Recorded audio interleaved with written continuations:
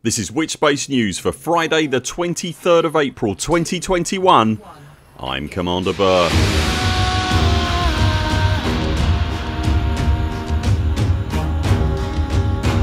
In this weeks news Sagittarius Eye is back in print Phase 4 of the alpha is next week Odyssey on PC gets a release date and there's a special Odyssey livestream next week. To make sure you don't miss any of our videos hit like and subscribe, click the little bell icon and remember to select all notifications and to further help support the work of this channel you'll also find us on Patreon. Links to everything you need are in the description below.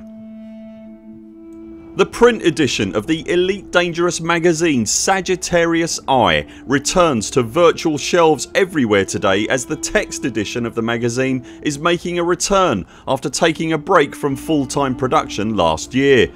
If you're relatively new to Elite Dangerous then chances are that the print version of Sagi maybe isn't unknown to you. Whilst fan created journals documenting virtual life in and around a video game are not necessarily that unique, what is unique about Sagi is the quality of that journal. Sagittarius Eye has the quality and feel of a professionally produced magazine with glossy image laden pages with well written and formatted text that includes reviews, opinion pieces, editorials, guides and interviews.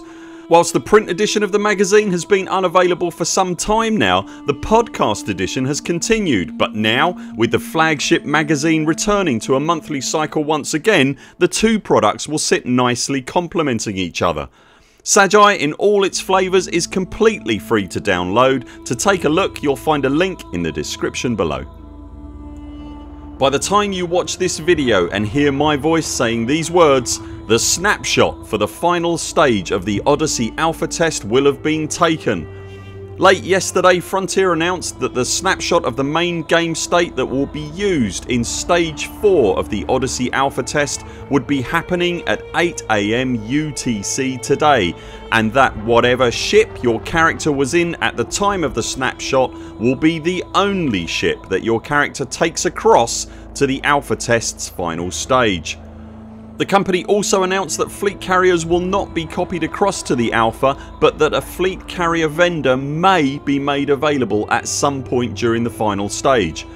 Arthur said in the live stream that we'll be restricted to the 50 light year bubble around Nervi still but Frontier have said in the last few minutes that they're not yet ready to comment fully on where in the galaxy we'll be restricted to in phase 4 so we don't yet know whether it'll be the 50 light year bubble or whether we'll have free reign to explore or something in between.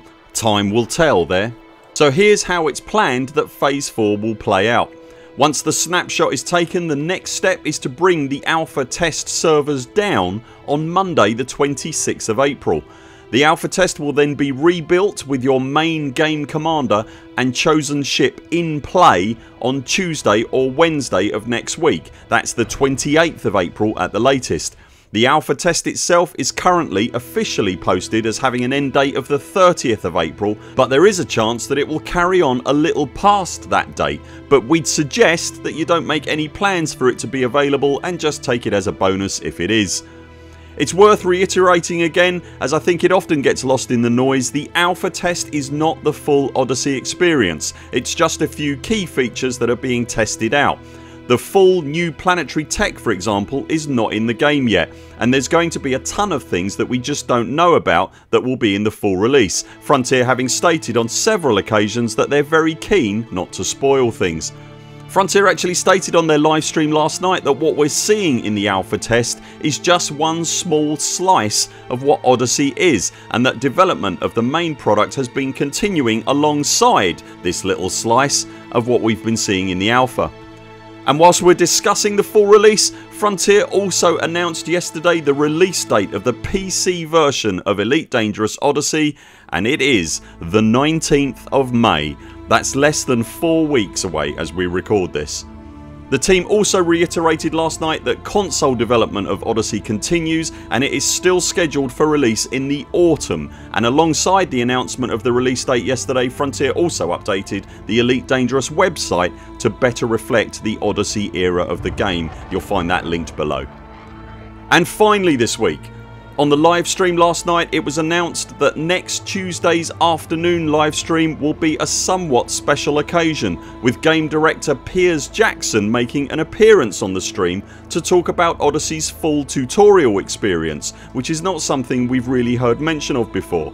Arthur also promised that Piers will be talking about engineering in Odyssey and the team will also be showing off the finalised version of the new planetary technology for the first time Twitch drops will be enabled for the stream which will mean another chance to pick up the purple flight suit if you haven't got it already.